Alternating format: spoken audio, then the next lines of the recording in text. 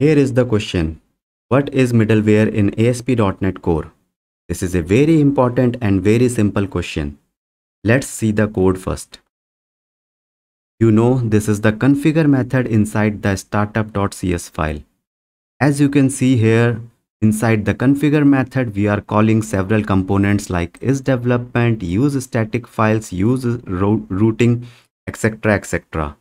All these are nothing else but the middlewares only. So what is the definition of middleware? A middleware is a component that is executed on every request in the ASP.NET Core application. So whenever any request will come, then that request will pass through all these middlewares and then it will go to the controller as per, as per the URL of the request.